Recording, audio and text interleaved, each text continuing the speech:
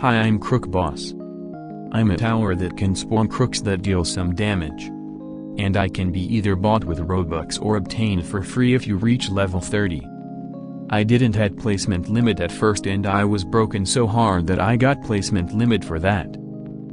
But I'm a good tower in any way. I got nerfed, but the changes are only applied to me. Still good. And now I'm better. Crooks are also better. Very nice. This rework didn't change much except for my damage. But crooks are now faster, they have more range and they shoot faster. So I'm technically better. I have been reworked and now I'm worse. Quite sad.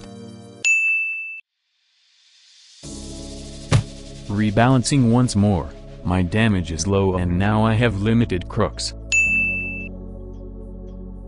This is not a good rebalance at all.